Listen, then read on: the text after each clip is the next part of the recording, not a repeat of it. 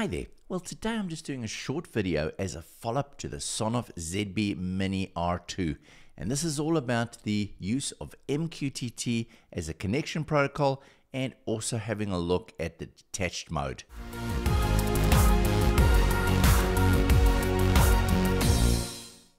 So as you can see, it's fully supported here with Zigbee to MQTT. Let's have a look at what's exposed. So first of all, we've got our relay state. Then we've got our power on behavior, and that can go to off, on, toggle, or previous mode. We've got this turbo mode, and this boosts the Zigbee radio, so you've got a wider field. Next, we've got delayed power on state. So effectively, you can turn this on, and if power comes back on, it will delay the time before that specific light turns on.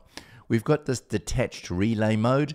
So the way this works is effectively if we put it into detached mode, the switch is no longer going to affect the state of the relay at all. So if you've got a smart bulb, you can have that smart bulb permanently connected to power and controlling it directly.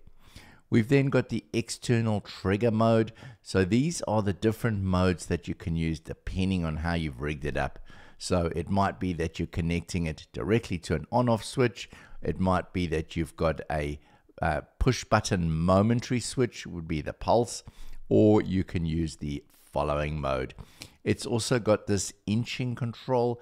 Inching control basically means that when you turn the switch off, the device will wait a certain time before it will actually turn off the relay. Finally, we can see here we've got our quality of signal strength brought through. So overall, this is a really successful Zigbee to MQTT integration and just amazing to see the amount of entities that are exposed compared to using the normal ZHA mode. So that's all for now. Catch up with you on the next one. Please like and subscribe. Bye for now.